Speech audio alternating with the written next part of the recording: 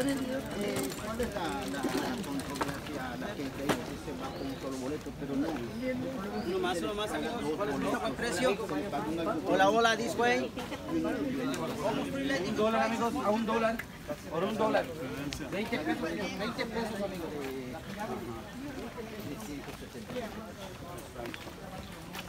Mira, de mola. La gente que llega solamente con la idea que se va un boleto, pero no, se le paga todo. Entonces entonces,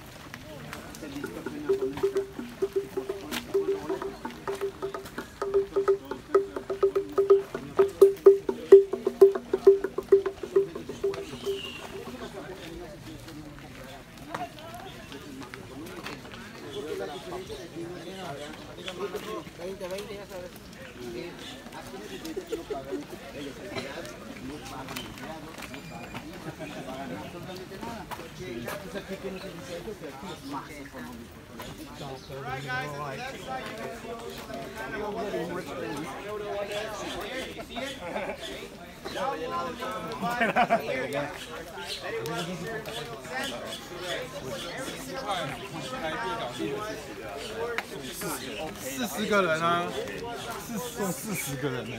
对啊。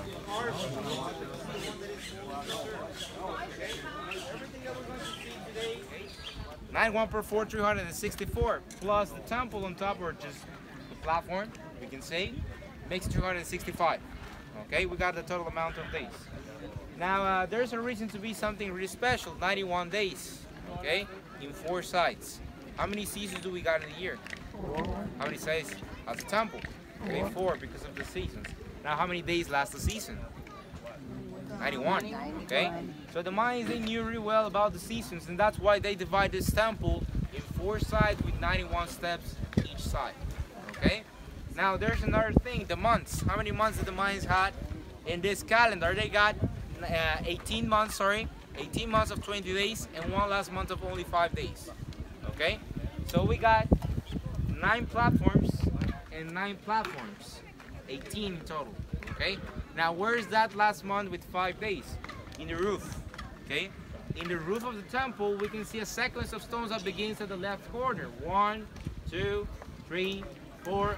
Now, it makes sense to follow, if you follow your logic, that that sequence will end at the right corner with another stone.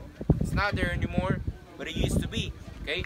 To represent the month of five days, five stones, okay? Now, that represents only the month, not the days. Okay, I already told you where the days. Okay, so we got the total amount of days, the total amount of months. Okay, and there's one more thing missing. Okay, the Mayans they got an extra calendar combining the, the lunar calendar with the solar calendar, 365 and 260. Okay, they begin at the same day at the same time, but you know they got different numbers, so they don't end at the same day at the same time. Okay, that happened only after 52 years. Okay, when this happened, they consider that the cycle of life has passed. Okay, now that doesn't mean that the Mayans live 52 years. The Mayans actually have an average of living like 60 to 65 years, and there has been cases that Mayans that live 80 years. Okay, so it's kind of weird actually in that case. Okay, so in the platforms we can see rectangular carvings. Do you see them? okay. I would say to count them, but actually there's so many. So there's 26 on each side. 26 and 26. That makes a total of 52. Okay? The total amount of years that they have passed to have a cycle of life. Okay? So we got a full calendar representation right on here. Okay? Now there's something extra. Okay? Um, right in the doorway. Okay? There's a piece of wood. You see it? Okay? Take a look a little bit more above from that piece of wood. A face. Exactly. There's a face over there. What kind of face? Or which is that man or that guy over there? That is a god. Okay? And this god is the god of the rain, Chak. Okay? He is the god of the rain, is the one that is at the very top. Now why, if this is the temple of Kukulkan, there's the god of rain over there. Okay? I'm going to explain that in a few minutes, but take or uh, have that in mind. Sorry, okay. Have the face over there, okay. Please. Um, here I can show you a small representation or uh, kind of a fake version of the equinox. Okay. Here you can see how the platforms they match with the railing behind. Do you see it? Yeah. Okay, that's exactly what happens to the equinox, but with the shade. Okay, the shade pops out in triangles. Okay, and that simulates the feather snake going down. That's why we have the head snake right on the bottom in that side. Okay. Now, what's the purpose of this? The equinox is March 21st and September 22nd, seed time and harvest time. Okay. Now, what's the real meaning? When the feather snake comes down, he fertilizes everything. Okay, that's a, that's the purpose or that's the meaning. That's why he comes down. Okay, so that means that it's seed time. Okay, and then September 22nd comes down to let them know that it's time to collect everything. Okay, seed time and harvest time by the god of the feather, sorry, the feather snake god. Okay, now something important. Kukulkani was uh, the feather snake god, but something, uh, the features that he had. Okay, he was the fertility god, talking about the soil. Okay, and also he was the wind god. Okay, two representations just in one god. This is something kind of weird. Not all the gods have these features. Normally the gods they have only one.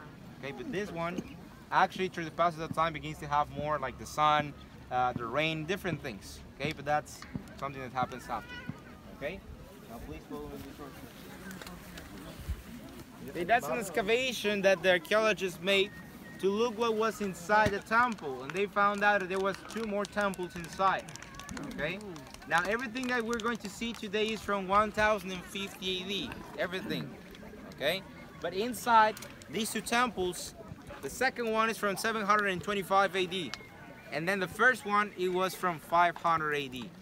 Okay. The changes, the, the time they changed it a lot. Okay.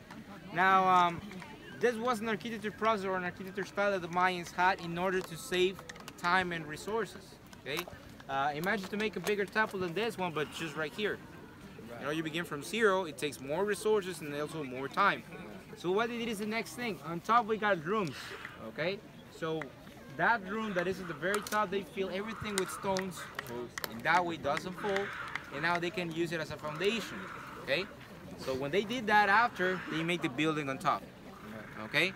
So uh, actually it works like the these little Russian dolls. You know, you open them, they got more dolls inside.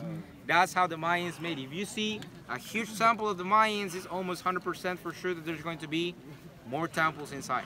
Okay. Now, um, something important inside there, they found in one of the temples a jade jaguar. You know, it was a red jaguar with some incrust- incrustations of jade. Okay, some stones of jade. And also they found a Chac Mool. What is a Chac Mool? The statue that is over there. Okay, that statue that is the very top. They found one like that inside this temple. Okay, and then in the first temple, at the very first temple, they found a painting in the wall about the human sacrifices. Okay, and now we're getting to the interesting point.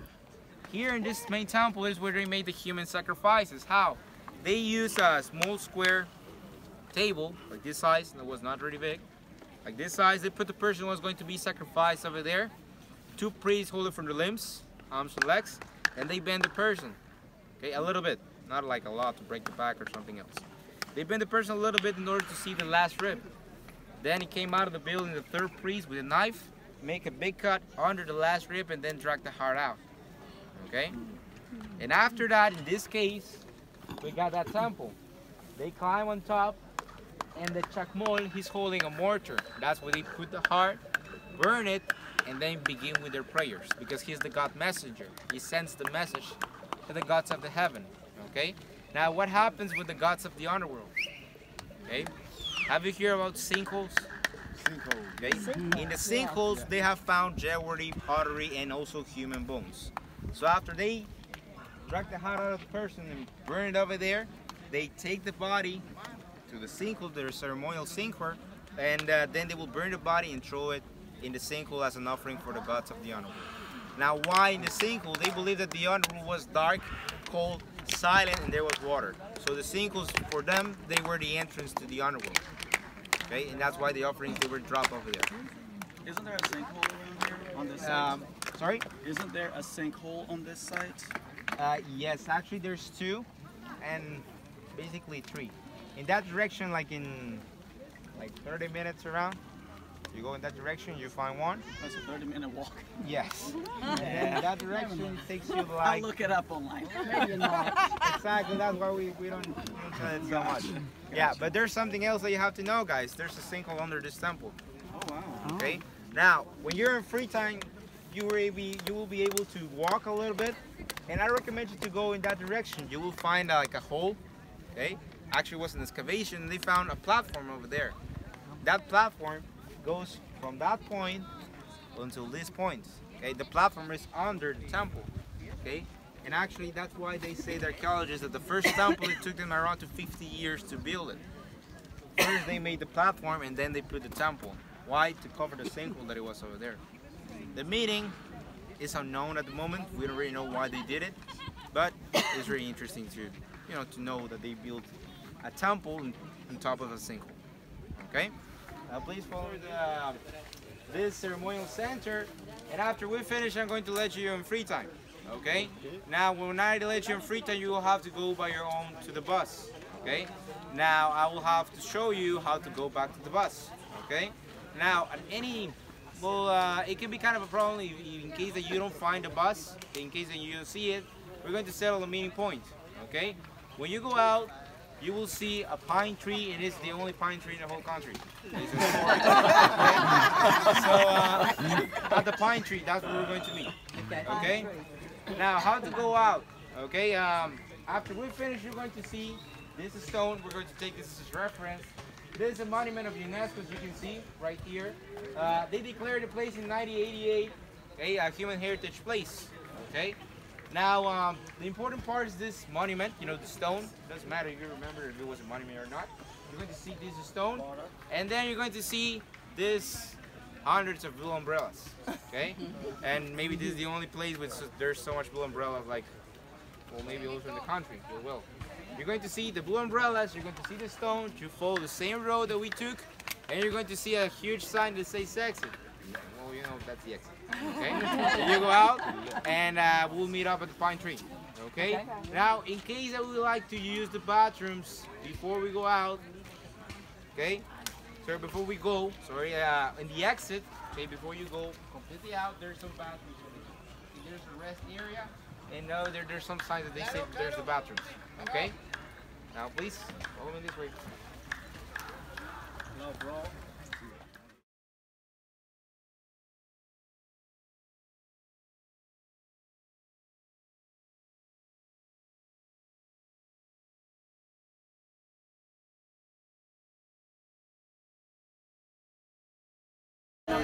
Abro un espacio